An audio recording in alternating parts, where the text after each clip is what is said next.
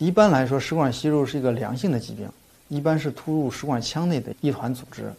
正常情况下，食管息肉它不会引起癌变，但是呢，在反复的这个呃息肉的这个刺激，或者我们食物呀这个食管的分泌物的刺激，长期以后，我们不能完全去排除这个食管息肉恶变的可能。所以呢，我们食管一旦发现息肉，首先我们要采取内镜下的一些呃判断。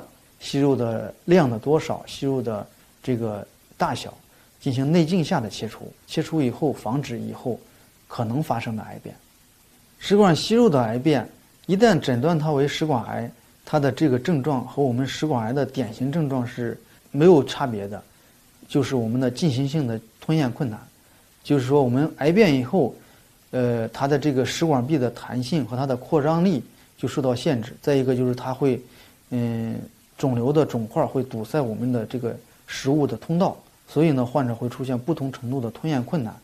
嗯，严重的时候，他可能会出现，嗯，胸前或者背后的这种疼痛、进食疼痛，或者是一些老百姓俗称的这个烧心的这些症状。所以，它的症状和我们的食管癌没有明确的差别。